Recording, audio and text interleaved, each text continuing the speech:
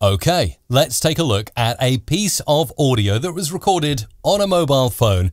Often, when we're recording podcasts, they don't sound so great when they're recorded on mobile phones. Now, obviously, the latest iPhone, the latest Google Pixel phone is going to have a pretty decent microphone.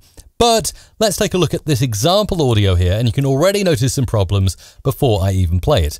Right here at the start, very loud peaky audio. Later on over here, loud peaky audio. Also, random peaks here, here, and here. So we're going to need to sort all of that out. But first of all, let's play this audio and see what is and what isn't possible. Because while we can do some cleanup on mobile phone recorded podcast audio, we can't do miracles and we certainly can't bring back uh, frequencies that aren't there. Let's play this audio right now. Have a listen. Had another knuckle battery blow, but except this thing off the plug is just doing fine. Okay, so you hear it. Now, you probably noticed there that's not the highest quality audio, but there are things we can do. And first and foremost, I, I want to, before I do anything else, I want to do a little bit of noise reduction and cleanup because you'll hear here. Battery blow, but except this. Okay, just here. But except this. Now, do you hear that kind of. Do you hear that is? Yeah, isn't that like a wind thingy? As in, like when you blow to the microphone on the phone? Exactly. When you blow to. So the same thing would happen if you were walking down the street and there was a bit of a wind blustering around. You get that. So you're going to find that in the low frequency. So let's work on cleaning that up straight away. And the way we'll do this is we'll hit Shift and D on our keyboards or this icon in the top left on Audition, and we'll get the spectral frequency display. Now this will come in handy uh, a little bit later on as well because we can tell something else using this display. But let's zoom right in on this audio. But except this. Now, you can actually see where the speaker has blown into the phone microphone and created that kind of kind of sound. And there it is down here. If I get the marquee selector here and just select here, have a look at that. We've got lots and lots of stuff going on around this area. And if I play that, let's play that on loop. Okay, there is the audio. Now we can easily get rid of this uh, using this, which is called the spot healing brush tool. It looks like a plaster. You can hit the B button for the shortcut or the icon up here.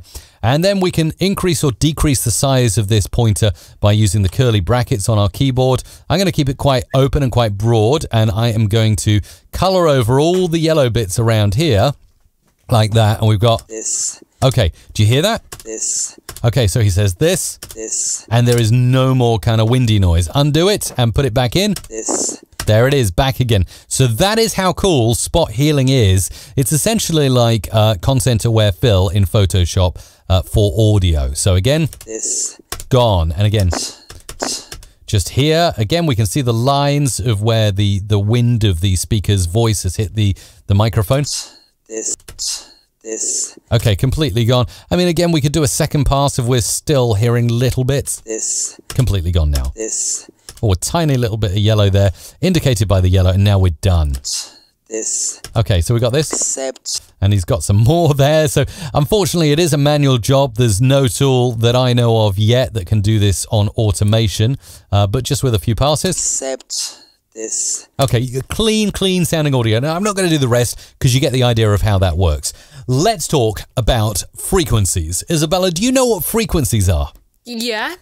Isn't Not the lost frequencies. They're a great, they're a great music uh, kind of combo. But uh, we're talking about, well, we are actually talking about lost frequencies, as it happens. Let's have a look at the audio now. Spectral frequency is good for showing you what's included in your recording, and you can see there are frequencies along the right-hand side from 100 going all the way up to 20k and above, 20,000 hertz and above. So the lower the number, the more bassy the frequency. The bigger the number, the more high-end the frequency. The crisp, you'll get the chirps and the pings and the beeps up there, and the mid range is kind of the voice. Now, if we zoom right in on a piece of speaking here, you'll see a lot of it's happening between low and 1000 hertz. Okay, we got a bit going on up here, and then it cuts out just above 16,000, so probably about 17,000. So all that high end information is gone. And, you know, a lot of frequencies around here, around the where I would expect the presence of the voice, 3000 to 5000 hertz, completely gone. Let me give you a quick example. If I were to go ahead and record Mike into here, you'll see my voice. Hello, this is how a voice looks when you're recording on a professional microphone in the spectral frequency display on Adobe Audition. So look at my voice. Now, you can probably see the difference between my voice and this phone sample, Isabel. I hope you can. Can you? Oh yes, I mean it's like you know Night a and day. lot and not a lot. Exactly. That's the way to describe it. Not a lot, a lot. Not a lot, a lot. Now, uh, Isabella, do you believe I can do magic and raise from the dead those frequencies that are know. gone from the It's like, recording? I, I thought that that was the, the one thing you can never ask for. You can't ask to bring people back from the dead. The answer, yes, if you've got a genie with three wishes. The answer is no, I cannot bring back frequencies that were not recorded. Okay? I'm not a magician. So it's kind of like you know. Mike is not a genie. He cannot bring people back from dead. All right, let's get on really quickly with this because we're going to conclude this video now with a few extra tips. Uh, I am going to improve the audio somewhat using a couple of tools. First of all, this peaky stuff uh, is it's pesky and it's peaky. Uh, so what we can do uh, is get some effects in on the effects rack over here. What I might actually do with this audio at the start, clearly the speaker has just been close to the mic and then kind of backed off later. So I'm actually going to do a quick cheat here and I'm going to select all this audio that's quite loud and I'm just going to pull it down a few decibels like this so that it's not too loud and we'll just make sure it doesn't sound too unnatural. Radio SA, a teen on a mission to the world.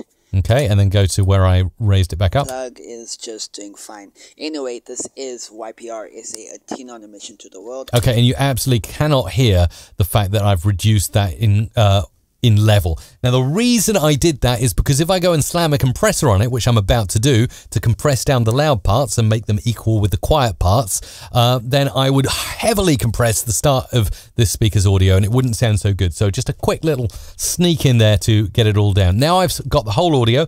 Let's get out of spectral frequency. Let's add on amplitude and compression dynamics over here. We'll go to the default view. We'll enable the compressor to start with and we'll just start increasing the ratio. I'll switch on preview mode so we can see before and after. And look already pushing the ratio up, how that's leveling out that audio down there. Going to push it up to three and see what happens there. Now I'm just going to ever so slightly move the threshold down, which makes the uh, the compressor more aggressive. Whoa, look at that. Might be a bit much. Let's listen. See. This is Young People Radio SA, a teen on a mission. Hey, this is good. Creative. He's just came into the industry. Okay. Features a lot of music. Again, more noisy bits that we'd get using the spot healing brush tool. Uh, so now I'm just going to turn the makeup gain up to make this guy nice and loud. Look at that. And we've still got some pesky peaks as well, which are just not, not great. Uh, actually, rather than putting more on the threshold, I'll push the ratio up a bit more and we'll hopefully uh, get rid of those.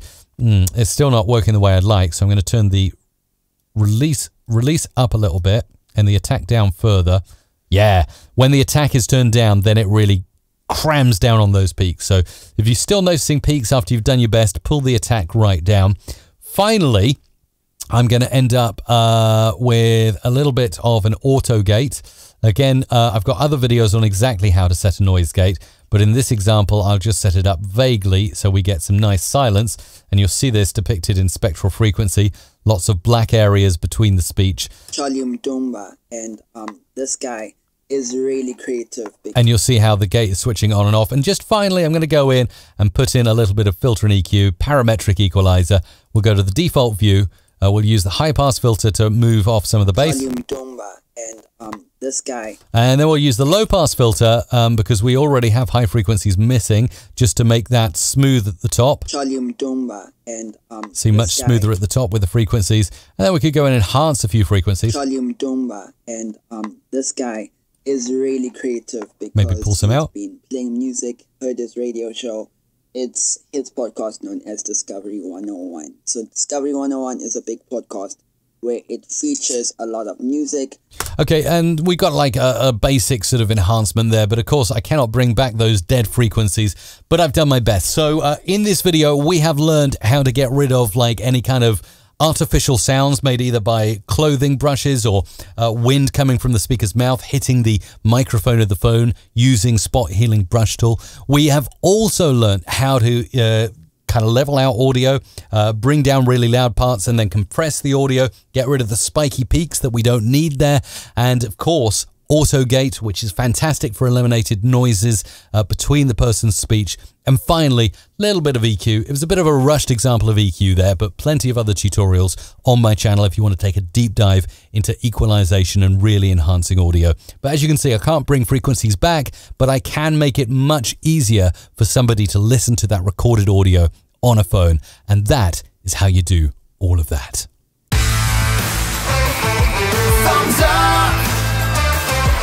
Subscribe for more. MusicRadioCreative.com